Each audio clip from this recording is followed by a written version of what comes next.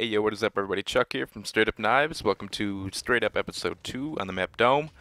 Uh, first spot is an A-bomb spot. You want to get in this back corner, aim right under where the window panes intersect, um, and you want to throw it. It'll bounce around a little bit and land by A. A was a very, very, very difficult spot to find knives from, so this is really all we could come up with. Um, it's covered, which means you can't really throw a straight up knife at it. Um, now moving on to B-bomb, you want to get next to these barrels right here. Um, you can crouch or stand up or whatever, and just throw it straight up over B. Really easy one to hit, uh, pretty practical, especially if you uh, crouch, you can hide behind the barrels pretty well. And it looks pretty cool in the kill cam.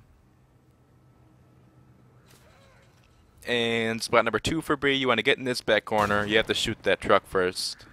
And, uh, I'm kidding. Uh, you have to lay down in this back corner uh, between the barrels and the wall. Go prone, go as far back as you can, aim straight up over B. And um, this is as close as we could come to finding a bouncing knife. It, it'll bounce off the bomb. Uh, looks pretty cool though. Easy one to hit. Um, actually, all three of the B-bomb ones are very easy to hit. So if you're looking for a cool one to hit in a public match to show off or whatever, these are the ones you want to go for. And this one right here, you want to get next to um, this red barrel. If it's blown up, you can just move back a little bit. Um, and make sure you jump when you throw.